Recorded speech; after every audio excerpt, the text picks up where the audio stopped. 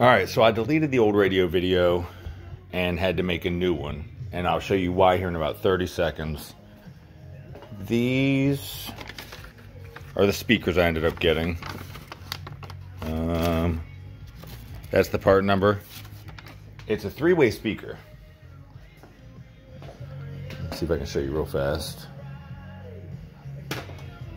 I didn't plan this out very well, but that's all right.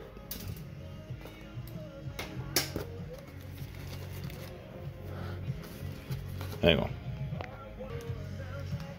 All right, that's the speaker that I'm running. Now the problem is, and these weren't even that much cheaper than the Alpines, which I should have gone with, but they come with a crossover, and they have three terminals on each speaker, which is a pain in the butt. So, what I had to do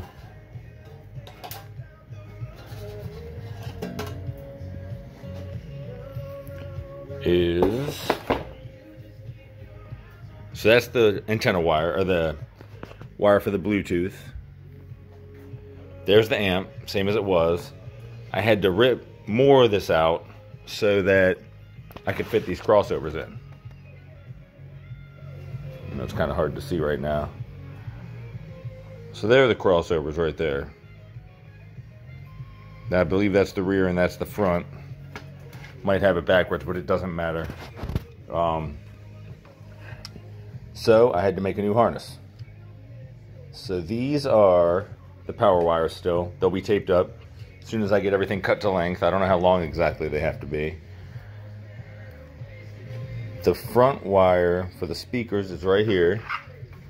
This is going to the front speaker, which is a whole nother set of problems that I'll show you here in a second. And this is to the rear speaker.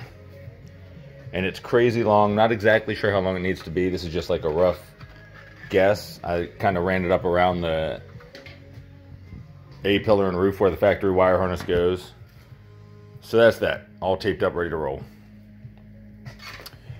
So now the problem is radio's done. Those are hooked in. Everything's hooked in heat shrinked ready to roll. So let me get up in the car. I'll show you what the next problem is that I'm facing. That I'm going to figure out next. All right, let me get under there. We'll be right back. All right, so I'm on my back upside down under the dash.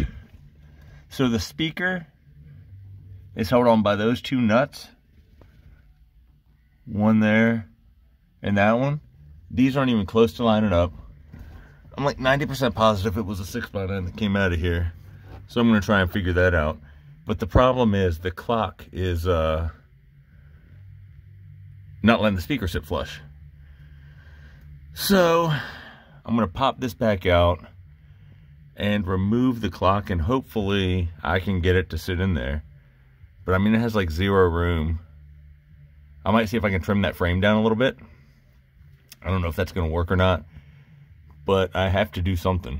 So and I've already cut all the harness wires up on the uh, crossovers, so I can't return them. So I have to make them work at this point. So that's where I'm at now. I need to get those fit. I need to get this flush. Need to get the light socket back in there. That had to come out, wherever that is. I don't even know where that's sitting right now. There it is right there, I think. No? Yeah, that's it. So, that's the next step. See it scuffing up the powder coat right there. So that's what I'm working on now. So I'm going to get to work and we will continue this when I get something figured out.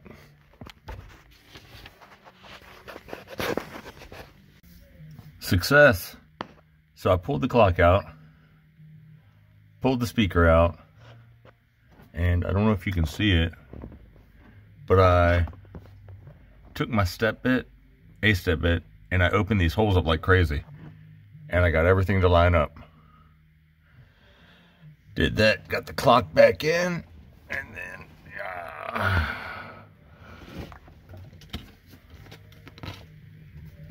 If I can get up out of here. Jeez, man, I'm stuck. Okay, here we go.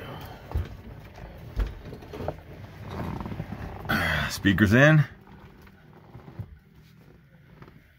Man, it's hot and humid out here. I'm dripping sweat. Now I have to find the screws for this thing. I have no idea what I just did with them. So I guess that's the next step. Oh, never mind. There they are. So I have to toss this back on.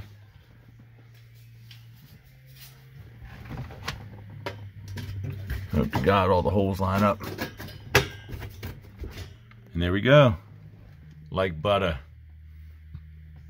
So that's it. Stereo is officially done in the front. Got to run the wire up over there, find the spot in the back. I think I'm going to have to finish that panel off back there. I think it's pretty much open the whole way. From other pictures I've seen, I haven't looked at mine yet.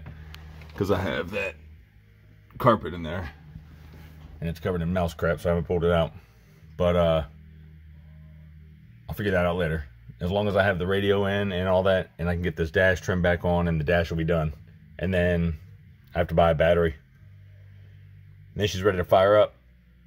But I think I'm going to pull the motor and do the five-speed swap first. I've already gone this long, I may as well finish the job, right? But anyway, there it is. Stereo's finished.